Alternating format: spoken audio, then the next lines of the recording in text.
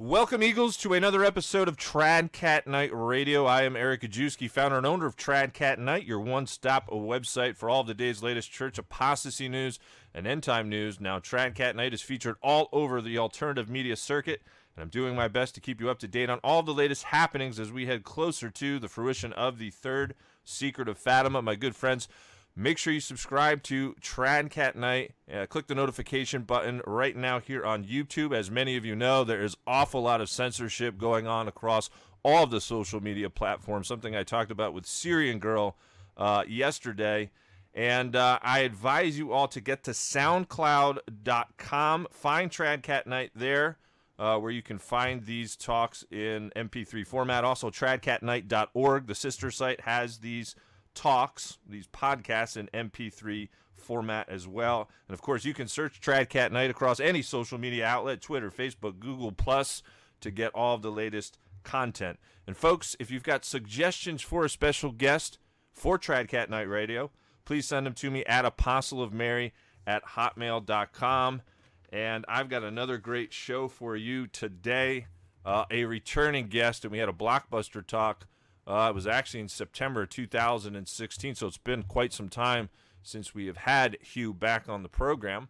And we had a great talk concerning the two frameworks at play creationism versus evolutionism. And so my guest today is Mr. Hugh Owen, uh, who is a teacher, headmaster, religious education coordinator for more than 30 years. The past 20 years, he has worked as a professional writer, editor, publishing many books and articles. Uh, Mr. Owen currently directs the Kolbe Center for the Study of Creation, which provides a forum for Catholic theologians, philosophers, and natural scientists from all over the world who are dedicated to making sure uh, that the evidence for and against the theory of evolution is made available to church leaders and the lay faithful. And again, his website is kolbecenter.org. Uh, In our last talk, we basically really covered how evolution crosses over from the science world, if you will, into theology. And we all know what we're up against uh, in this crisis in the church. Um, but it's not going to be specifically what we're talking about today, although I'm sure we'll probably mention it.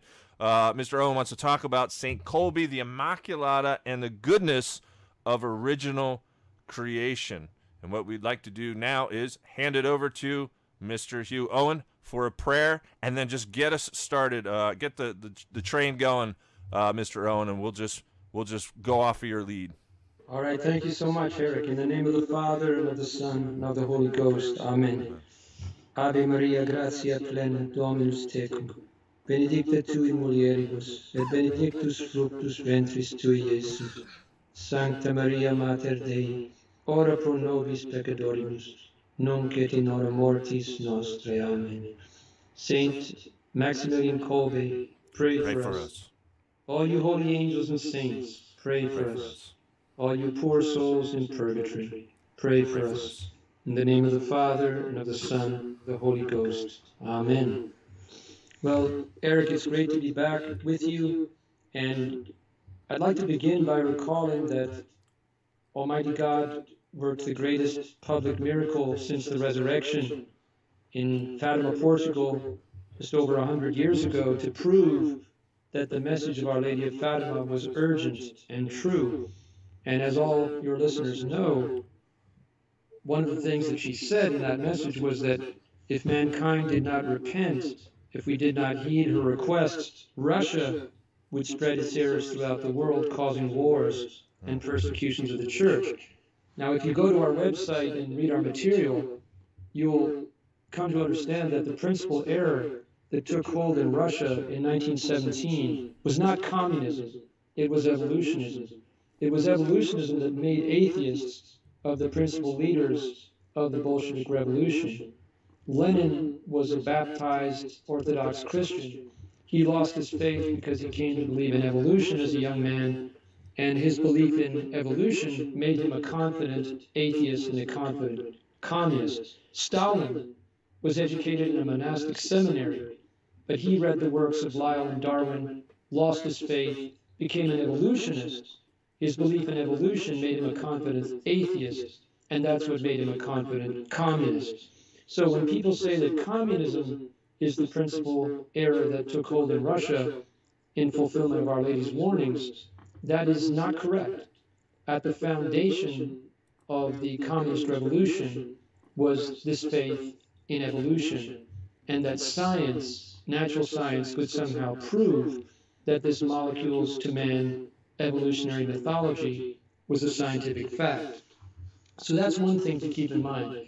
The other thing that I want to highlight in this program is the statement that Our Lady made at Fatima that she was going to save the world through devotion to her Immaculate Heart.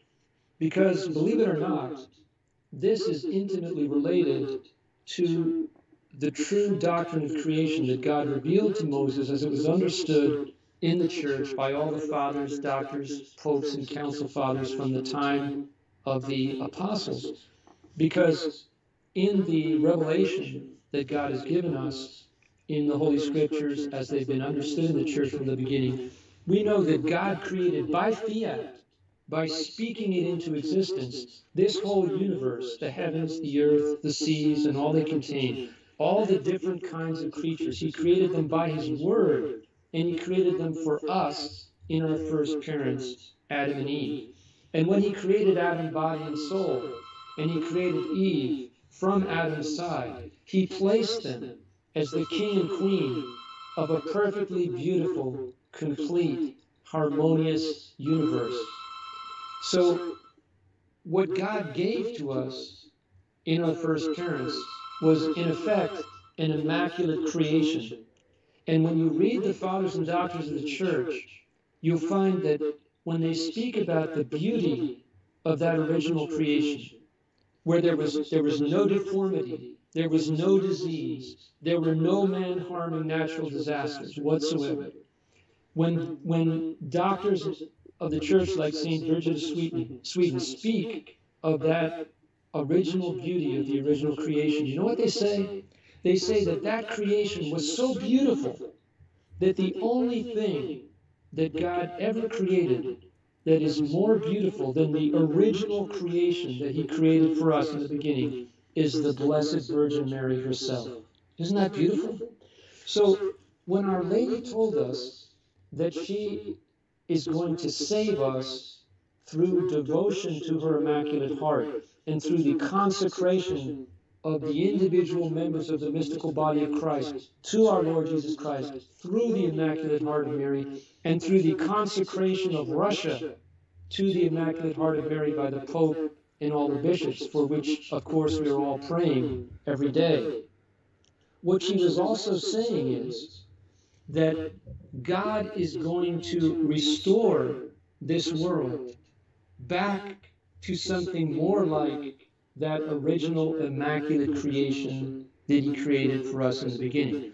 And this is so important because even many faithful Catholics who are trying to be faithful to the traditional Catholic faith, we have all been so brainwashed by the evolutionist philosophy and mentality that is in the very air that we breathe, that we don't realize how much it has affected us, even when we try to live our Catholic faith in every thought, word, and action of the day. And here's a very simple way to distinguish the true Catholic perspective on human history from the false so called Enlightenment philosophy perspective, which totally dominates the world today, even in, in Catholic academic circles.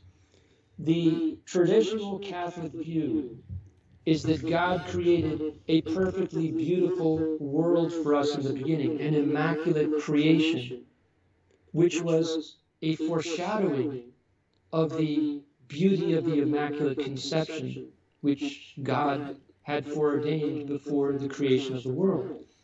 And therefore, when Adam and Eve sinned and the harmony of the first created world was destroyed, everything from that point forward, everything that God did was oriented towards the restoration of that original harmony that existed in the beginning. So the gospel is about restoration.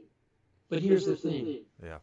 All the fathers, doctors, popes, and council fathers believed and taught that. But what happened in the so called Enlightenment is that intellectuals within the Christian world embraced the false philosophy that St. Peter predicted would take over in 2 Peter chapter 3, which was based on the idea that the same natural order that we are living in today has existed from the beginning of the universe. Descartes was the first baptized Catholic scoffer who, after he had dabbled in the occult and had three mystical dreams in which he said a spirit of truth possessed him, I wonder who that spirit of truth might have been.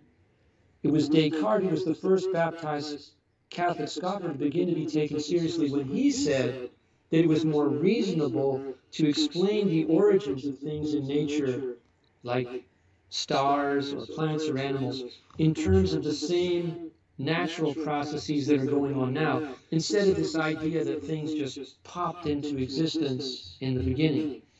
And that idea, although Descartes' works were prescribed and put on the index of forbidden books when they were published, little by little, that false philosophy of what we could call naturalistic uniformitarianism, that things have always been the same, the present is the key to the past, little by little, that insinuated itself into the thinking of most of the intellectual elite of the once Christian world. And that's what laid, set the stage for Lyell and Darwin and all their disciples down to the present day. And that's what laid the foundation for modernism. Because when St. Pius X looked at the situation in his day over a hundred years ago, what did he see? He saw that already many Catholic theologians, Catholic intellectuals, Catholic leaders had embraced this false Enlightenment philosophy that the gospel is not about restoration of what God created in the beginning. It's about progress. It's about evolution to some utopia in the future. Yes. And this is why in Pascendi, St. Pius X says this modernism that says that everything is in flux, everything's evolving to this utopia in the future, this is the synthesis of all heresies. Because all previous heresies added something, subtracted something, distorted something, but they left most of the faith intact. But with modernism, because of its premise, its evolutionary premise, everything's in flux, nothing is sacred, everything's got to be changed. The doctrine, the liturgy, everything. And Yeah. therefore, he says that evolution is the principal doctrine of the modernists. Yeah, if I could just make a few points here, Hugh. Wow, wonderful. Uh, all the points that you've made, but yeah, definitely progress, quote unquote change, process. These are all communist, uh, modernist uh, uh, buzzwords, if you will. I mean, they're literally trying to redefine what it is to be uh, a Christian. And I know on your website, uh, kolbecenter.com, you, you, you have Dot org. oh, dot org. I'm sorry. Yes, yes. You have an article uh, concerning that with uh, Teilhard uh, de Chardin, but it's very, very difficult in these times because we see so many conciliar leaders, including the popes themselves, espousing evolution. And I just wanted to bring up uh, an additional point, uh, if I could, concerning the triumph of the Immaculate Heart. One of the reasons why, folks, I, I document all the earth changers, or what I identify as what our Lord called the birth pangs, is because we have so much error now. There is less truth in the world. There is more sin in the world and less reparation being done. Therefore, there's less purity in the world, if you will, or less holiness. Therefore, we're seeing more and more darkness and chaos in nature itself, so much to the point where, as traditional Catholics, we know what the climactic event will be in terms of the three days of darkness, where everything is in chaos uh, and in darkness. So, what we're talking about today uh, is this harmonious return of creation uh, and nature in the triumph itself. And that's what's interesting what Hughes trying to bring out is not only will it be a springtime in the church, if you will, but springtime literally as it relates to nature. Everything will be restored. And so Jesus himself, even in Luke 19 40, talked about the rocks crying out if we didn't praise God and essentially call him king. Uh, and I'm paraphrasing there, of course. But the bottom line is, folks, we see the Antichrist forces building and building towards this one world religion. And this is what we're heading towards. Nature is in all of re- uh, revolt. And so the answer is, as all of the mystics have said, and, and the fathers and the doctors and the church have said, return back to Mary and this devotion to the Immaculate, and I would also add to uh, the Sacred Hearts. Continue on, Mr. Owen. I didn't mean to uh, cut you off, but uh, wherever you want to go in terms of uh, continuing to talk about the link between the Immaculate Conception or uh, and the Immaculate Creation. Um, I don't know if you want to get into uh, the lies of both atheistic and the- theistic uh, evolution, which is brainwashing individuals, but wherever you want to pick up. Certainly. Well, I'd just like to return to this idea of the Immaculate Creation going hand in hand with the Immaculate Conception. Because what our children and grandchildren are being taught in almost all Catholic schools and universities and seminaries all over the world is that God created a world full of death, deformity, disease, struggle for existence, creating one kind of creature through this destructive process of evolution, only to destroy it to make something better, and then destroying that to make something better. So we say that atheistic evolution turns men into demons, as it did to Lenin, to Stalin, to Mao Zedong, to Hitler, and so many other totalitarian leaders. But what we don't realize is that theist, theistic evolution makes a demon out of God. That's a very important pair of truths. Atheistic evolution turns men into demons, but theistic evolution turns makes a demon of God. Because the true God is the one who creates everything beautiful, complete, harmonious for us all the different kinds of creatures perfect according to their natures, each in exactly the right place in the universe to be part of this symphony of harmonious natures, all of which are created for us in our first parents. And it's only sin that brings the death, deformity, disease, and man harming natural disasters into the world.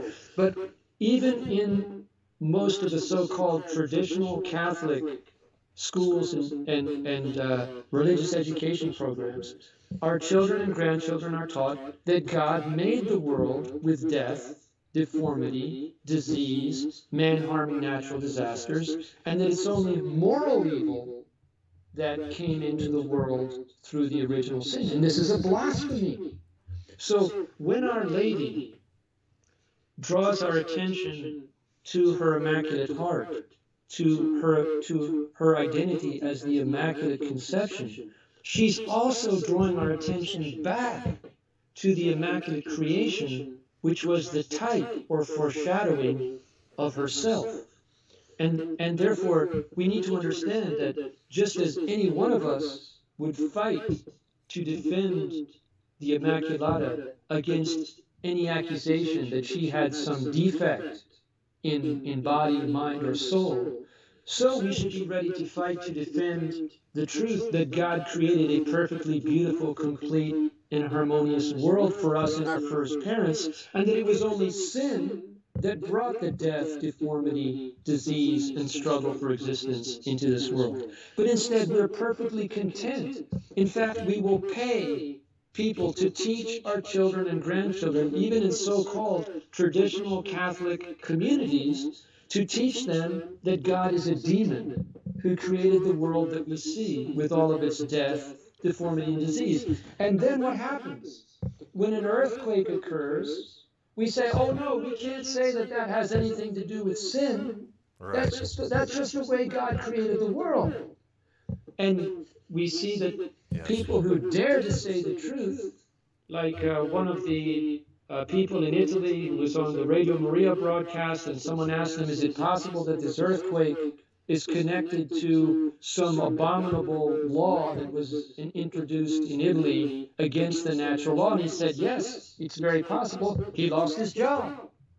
That's not allowed. You Yeah, Father cannot- Father Cantalamessa actually has been uh, putting out that propaganda too, that it's no way in relation to sin, which is quite scary. Well, because what happens then is we become deaf, dumb, and blind.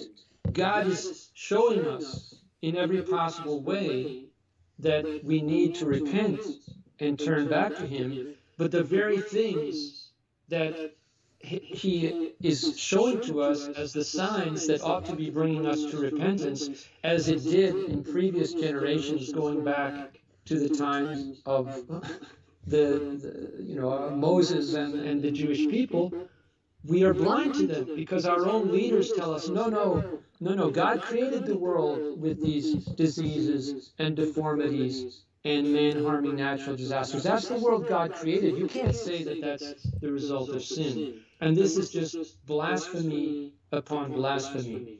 But let me point out something else. Saint Maximilian Kolbe was one of the few Catholic theologians in the first half of the 20th century to see through all the smoke and mirrors of evolutionary pseudoscience and false philosophy and to say that the emperor of evolution wasn't wearing any clothes. My father was the son of a Baptist minister, went to university in England, lost his faith because of his secular humanist evolution based false philosophy, went on to become the first ever Secretary General of International Planned Parenthood Federation at the very time when IPPF changed its position on abortion and became the world's number one provider of abortion, contraception, sterilization, and sex education. The very at the very time when my father, like millions of other people then and now, was being robbed of his faith by this evolutionary, evolution-based false philosophy. Saint Maximilian Kolbe was writing articles and sending them all over the world showing that the emperor of evolution was not wearing any clothes. And here's one of the most beautiful insights that St. Maximilian received. The last thing that he wrote before he was taken to the starvation bunker in Auschwitz concentration camp was on this theme. He had meditated most of his life on his knees in front of the Blessed Sacrament on the words that our Blessed Mother said to Saint Bernadette at Lourdes I am the Immaculate Conception. And St. Maximilian wanted to understand why did she say this, I am the Immaculate Conception? And he realized, by the grace of God, that with these words, our Blessed Mother gave the lie to the blasphemy of human evolution. And this is how he explains it. It's so beautiful. He says, Adam was not conceived in the womb of a parent. He was a special creation, body and soul. Eve, he goes on, was not conceived in the womb of a mother. She was created, body and soul, from her husband's side. He continues, Our Lord Jesus Christ did not begin to exist in the womb of the Blessed Virgin Mary. He's God. He existed from eternity. Therefore, St. Maximilian concludes, the Immaculate Conception is the unique Immaculate Conception. And think about this. If theistic evolution is true, what's being taught in the overwhelming majority of Catholic schools, seminaries, and universities, even the so called traditional ones, if that were true, since even theistic evolutionists are bound to accept the dogma of original sin, they must believe that Adam and Eve were conceived without sin in the womb of a subhuman primate. They have to believe that. And therefore, if theistic evolution were true, then the Blessed Virgin would have had to say to St. Bernadette at Lourdes, I am Immaculate Conception number three. yeah. Because there was Adam, there was Eve, and now there's, there's, there's me. But she didn't say that. Now, is it a coincidence that she said these words at Lourdes in 1858 on the very eve of the publication of Darwin's book, the origin of species. No, it is not a coincidence. Our Blessed Virgin Mary, for those who had eyes to see and ears to hear, gave the lie to the diabolical deception of human evolution. So, my brothers and sisters, if you want to raise your children and grandchildren and friends and relatives and neighbors and acquaintances and anyone you can influence in the true holy Catholic faith that was handed down to us from the apostles. Teach them the true Catholic doctrine of creation as the foundation of their faith and expose the diabolical deception of molecules to man evolution as the lie from the pit of hell that it is. Because the, the era of peace and the culture of life will never be built on the foundation of theistic evolution. We will only have an era of peace and a civilization of love and a culture of life on the foundation of the true Catholic doctrine of creation that was handed down from the apostles. And here's the one, one final point for now that I'll make, and if, if we have time to say anything more, that's great. If not, this is this will be good enough, God willing. When our Blessed Mother began in these times to reveal the riches of her holiness. St. Maximilian Kolbe realized she's our mom. And like any mom, she wants her children to share in everything that she has. She doesn't want to keep anything for herself. So St. Maximilian had the insight to realize that the more that we consecrate ourselves to our Lord Jesus Christ through the Immaculate Heart of Mary, the more we come to appreciate her holiness as the mediatrix of all graces, co-redemptrix and advocate, the more we are going to begin to share in the holiness of our Blessed Mother. And that holiness is the same kind of holiness that Adam and Eve were given in the beginning of creation. I could weep over the number of otherwise very good and holy priests and lay faithful who are under the impression that our first parents were primitive that God put a soul into them and they were they were like these primitive children. That is a blasphemy. Read the articles in the summa on the holiness and the perfection of Adam and Eve. We have an article on our website by Father Thomas Crean, OP, on the original perfection of our first parents. Adam and Eve, Saint Adam and Saint Eve, were created in the most exalted state of holiness until the original sin. All they wanted to do from morning till night was the perfect will of God. And yet we are so deceived and confused that we allow our children and grandchildren to be taught that they were primitive. My brothers and sisters, we have to see through this deception. We have to go back and teach this fundamental truth and expose the works of darkness which are all rooted today in this false, diabolical deception of molecules to man evolution. Folks, if you don't believe Hugh and myself, what we're talking about today, let's hear the words of St. John Vianney himself. In fact, my children, it is sin that brings upon us all calamities, all scourges, all war, famine, pestilence, earthquakes, fires, frost, hail, storms, and all that afflicts us and makes us miserable. Uh, I think that pretty much sums up uh, a large amount of what we've talked today. And for those who've been following Tradcat Knight, you know uh, my conversion story uh, itself, uh, being a very immoral person, struggling with sex addiction and, and, pornography, and I turned to the Blessed Virgin Mary. I picked up the rosary, haven't looked back since, prayed it every day. And so she is necessary in order to maintain purity of soul, purity of the world, in the context in which we've been talking today as it relates to the triumph of the Immaculate Heart coming, but purity of truth. She's the destroyer of all heresies. Who's going to destroy modernism? Who's going to smash it out under her foot? It's going to be through the intercession of the Blessed Virgin Mary. Um, now, if I can, Hugh, I did have uh, a, few more questions, if you will. If, if you've got time, we can kind of uh, continue on here. Absolutely. Um, yeah, I wanted to ask you your take on the whole New World Order social social justice movement as it relates to everything we're talking about. Because as far as I can see it, and this is in a more loose, broad sense. Uh, it seems to me that we're going from, you know, the Catholic version of veneration of Mary and, and turning towards Mary, uh, et cetera, et cetera, to a more secularized, if you will, worship of Mother Earth. And there's a lot of trads out there that see what's going on in the Vatican. They see the environmentalist push, you know, Agenda 21. And the early church fathers warned that in the end, uh, the Vicar of Christ would be driven from Rome and it would return to its ancient paganism. And that's kind of scary to a lot of trads. So, how, how does the social justice, quote unquote, social justice movement fit in uh, with what we're talking about today? Well, of course, the true social doctrine of the church is absolutely rooted in the true Catholic doctrine of creation and the sacred history of Genesis.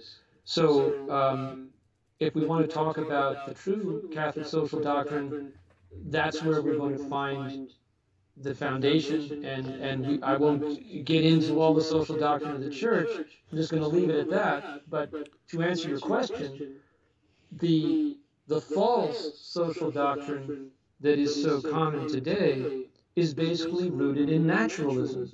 Right. Instead of recognizing that the gospel is about the kingdom of God and establishing the social reign of Jesus Christ here on earth, and uh, uh, and especially on leading souls to eternal life, what the false social justice movement does is to act as if the supernatural riches of the church are secondary to the natural goods. In fact, for many of these social justice advocates, it's as if the natural goods are the only ones that exist. For them, it, it would seem that eternal life is not even something we should waste our time thinking about. We should be totally preoccupied with the material needs of human beings here on earth.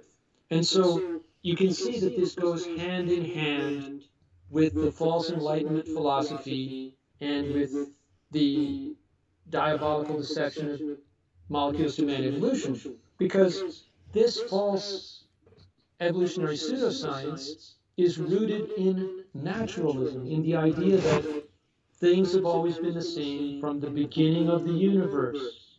It's all been the same natural processes working from the first moment of the alleged Big Bang, which never happened, and everything can be explained in terms of natural processes. And therefore, everything that makes up reality is just the natural world. And so the only things then that a responsible person is concerned about is natural goods, providing food, clothing, comfort, and these kinds of things to humanity. And this is the inversion of the gospel. Our Lord Jesus Christ says, Seek first the kingdom of God and his righteousness, and all these things shall be added unto you. They're totally secondary. Mm-hmm. But yeah. the false social justice gospel turns the true gospel on its head and says that it's the natural goods yes. that are the be all and the end all. It's it's no different than succumbing to the three temptations of Satan that he subjected our Lord to during the 40 days after the 40 days of his holy fast. Yeah, my kingdom is not of this world, Jesus said, and we all know what sect truly naturalism comes from, of course, Freemasonry and uh, listen, there's a large amount of evidence to suggest that Darwin's father, not only, uh, well, Darwin himself had a hatred for the church, but his father was a well known Freemason. As a matter of fact, I was doing a little bit more research this morning. I found it on uh, more than one uh, Freemasonic lodge, one in uh, St. Patrick in, in Ireland. So that was just uh, well known. And I was tooting the horn some years ago when I you know, this guy that I've identified as, as being the guy that will show up onto the scene and kind of put this uh, all together uh, if you will, from the New World Order. Uh, you know, their buzzword for socialism is sharing, and I warned that that would be coming out of the Vatican uh, about a year before they started saying it. And folks, listen, they're going to attack the doctrine of original sin next. That's what these individuals uh, plan to do. So be prepared for it. Don't don't, uh, don't don't think that it's not going to happen. It is going to happen. They're going to attack the doctrine of original sin next. That's why we've got to get talks like this out. Uh, and again, yes, this false utopian society that's that's being created. Father Malachi Martin warned about this. This new Tower of Babel. Everything is inverted, uh, putting the material first and spiritual being secondary. I know you also wanted to talk about this, uh, Hugh. Uh, I don't, you know, feel free to elaborate, but you wanted to talk about Kinsley a little bit and, and the sex revolution and how this kind of fits in. I've had Dr. Judith Reisman on. We had a whole show dis- discussing this, but uh, what, what, did you want to add in this area? Uh, I, I, wanted to to point out that the whole sexual revolution is totally rooted in evolutionary pseudoscience, and and the abuse, the epidemic of abuse within the ranks of the clergy is totally rooted in this evolution-based sexual revolution. Let me just briefly mention a few things which are very important for everyone in the audience to understand. And then at the very end, I would like to say a few words about what we're doing in Uganda to build a center of light in East Africa for the good of the whole mystical body of Christ. But Kinsey was raised in a devout Protestant home. And even when he went away to college, for a long time he held on to his rudimentary Christianity, but eventually he caved, became an evolutionist, and atheist, and after getting his doctorate from Harvard, he founded a new science, the science of perversion. And this was based on the idea that, you know, back in the Middle Ages, we had this antiquated notion that there was a human nature and there were certain kinds of actions that were in accord with human nature and they were good, and then there were other actions that were not in accord with that and they were unnatural and abnormal and evil. Well, Kinsey had the good news that evolution had liberated us from this medieval antiquated notion because thanks to Darwin, we know that everything's evolving. There's no stable human nature. And what's more, we know that we evolved from a common ancestor with chimpanzees. So we can look at the chimps and the bonobos and the baboons, and we see they do all these kinds of behavior that back in the Middle Ages we thought were unnatural and abnormal. So now, thanks to evolution, we're liberated because we see that our cousins do these acts and they're perfectly natural and normal for them, therefore, they're perfectly natural and normal for us. Now, believe it or not, it's with this evolutionary pseudoscience that Kinsey gets a heap of money from the Rockefeller Foundation to begin his new science of perversion, where he takes deviant people, mostly from a prison population, studies them, fudges his figures, makes it seem that their deviant behavior is much more common than it really is, and then succeeds in changing the criminal code, the medical code and the psychiatric code to put us in the mess that we're in. But see, that's not the worst abomination. The worst abomination is revealed in an article published by the Theological Society of America by a priest who was the dean of a seminary at the height of the abuse that was going on in this country. And here's his brilliant conclusion.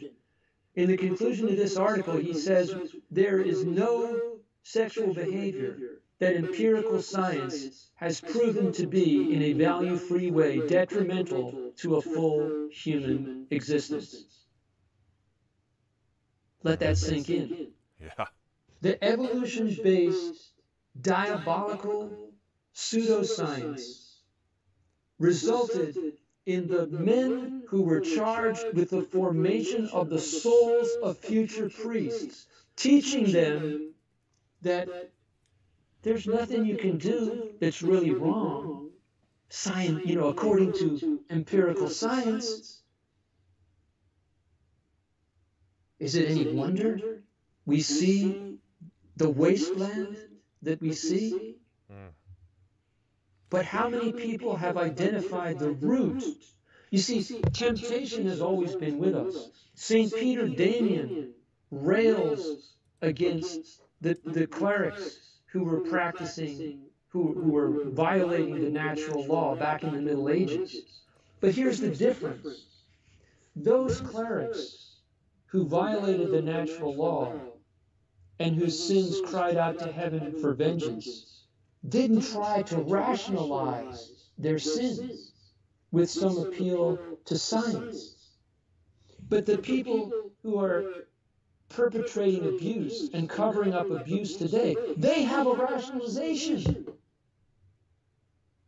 And in so many cases, when people in positions of authority were confronted with direct evidence of abuse, they weren't horrified. They were only horrified when there was publicity, when their pocketbooks were threatened, or their reputations were threatened. Then they were horrified. But at the abuse of the innocent, at the abuse of our Lord Jesus Christ, they were not offended. Because these are people who have lost the faith.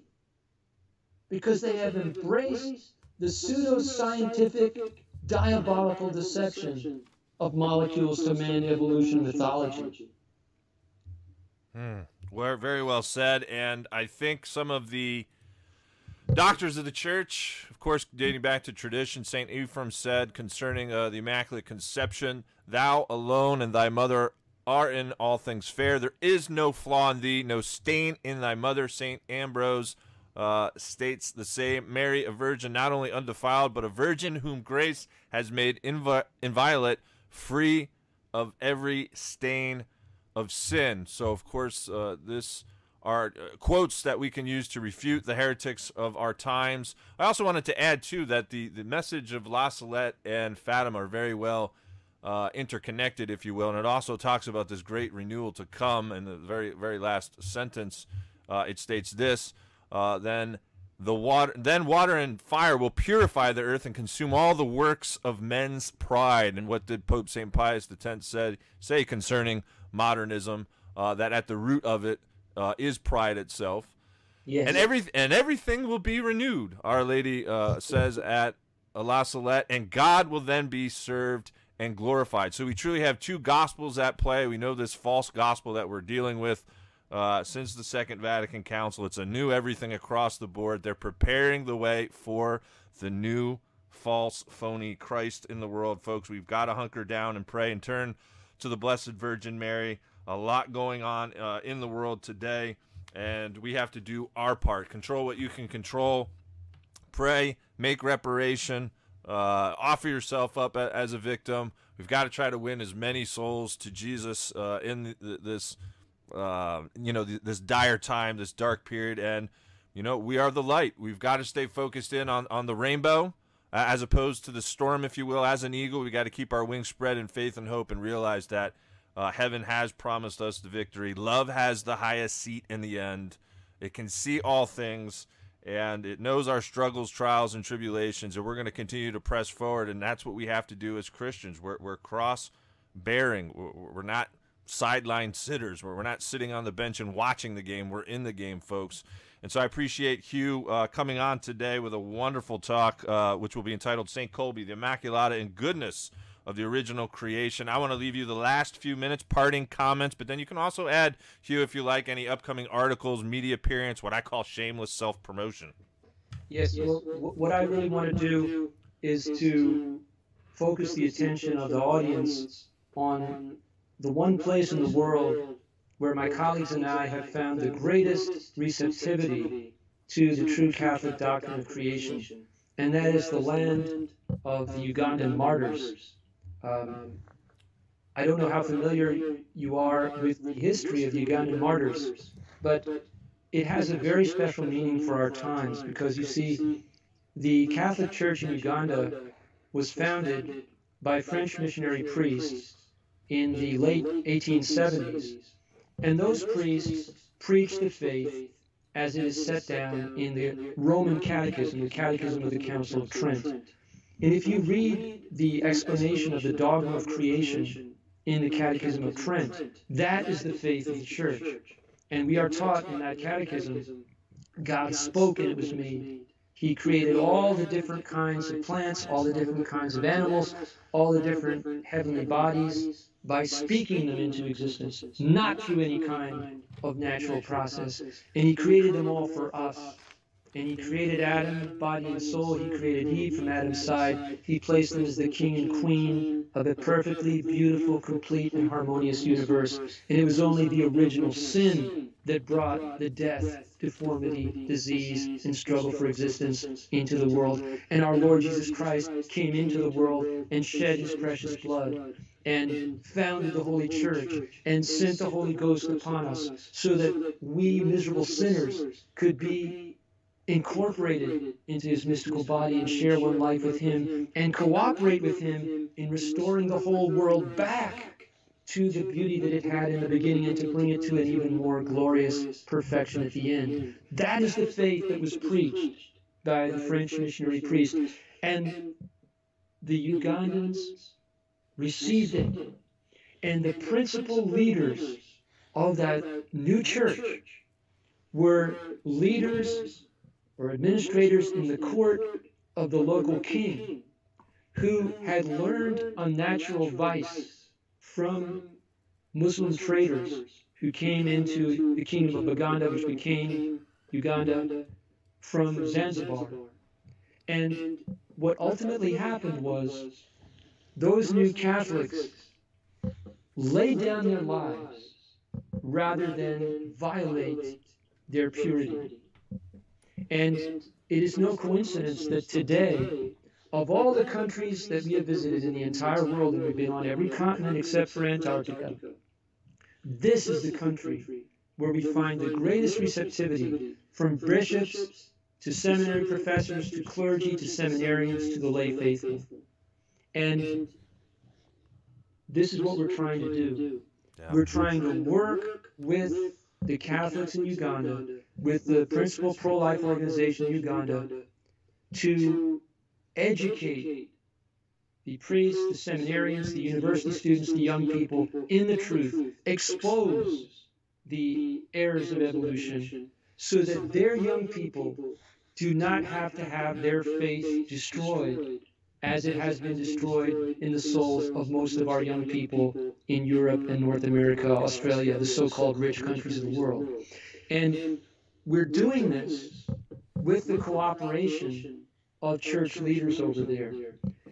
And we're, but we're doing it against the agents of the New World Order who are funded to the tune of hundreds of millions of dollars Yeah. to flood this this country with contraceptives, with sex education, with every kind of perversion, with genetically modified agriculture, which they haven't been able to get in, but they keep trying, and all these abominations, so that they can destroy that society as they have destroyed the societies in Europe and increasingly here in North America as well.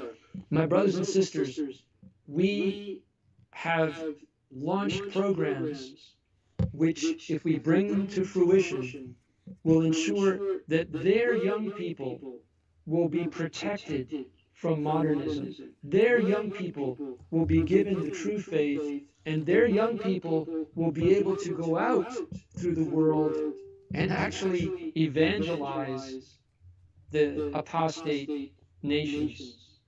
But we need help. We, mostly we need your prayers, but also we are starting projects so that our brothers and sisters in Uganda can earn through legitimate businesses the funds that they need to build a solid Catholic pro life culture. But we need people to support these legitimate businesses. For example, we have a business that's making men's suits, high quality men's suits for a fraction of what it would cost you to purchase them in Europe or North America. We need customers. If you're interested in supporting this work, please get in touch with me through the Kolbe website. But most of all, pray for the success of this apostolate because we believe that these young Catholics in Uganda, the ones who are really answering and corresponding to the grace of God, they are consecrating themselves to the Immaculate Heart of Mary, and they want to give their lives to carry the true Catholic faith to the ends of the earth.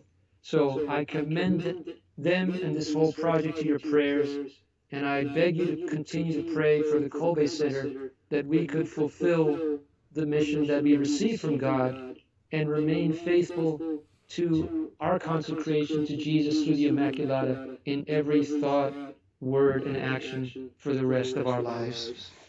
Amen. And we will certainly keep you in prayer. Uh, I invite you all to continue to uh, offer up uh, your sacrifices and, and, sufferings for His cause. It's certainly very, very important, of course, uh, considering all of the different elements that we've talked about today. We truly have two gospels at play the gospel of man and the gospel of Christ. And this fits right into what we are talking about concerning the old world order of Catholicism and the new world order of uh, the Antichrist to come. And there are many traditionalists out there uh, who believe we are on the verge of the great persecution. So those poor people in Uganda, uh, Uganda are being persecuted.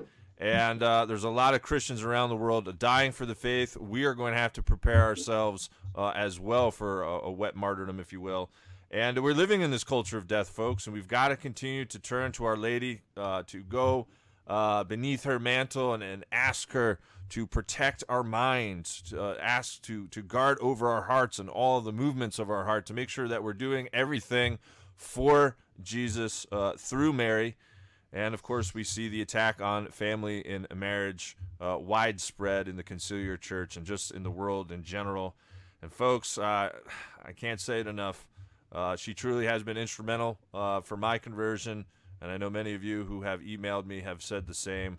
And so we've got to turn to her uh, let's look towards the example of Saint Kolbe uh, himself, who died giving witness to the faith as well. And I just want to thank you for for checking in with us today. Another great talk. We'll try to get him back on in the upcoming months. There's so much to talk about. Uh, a lot of great articles and uh, just general information, a plethora of information on his website, kolbecenter.org. I will try to do my best to recirculate some of his blogs and reblog it so we can get some traffic back to the site uh, from our site. And I just want to thank you all for tuning in to Tradcat Knight Radio today. Again, check into tradcatknight.blogspot.com daily. It's updated daily. If you can in this information war outside of your prayers, I ask you to click that PayPal button. Get in the fight uh, financially if you can and I'm going to have another great special guest uh, tomorrow. In fact, the whole month is just loaded with tremendous guests uh, such as Hugh today. And so, my good friends, until next time, I thank you all for tuning in today. Keep your wings spread in faith and hope. Ave Maria.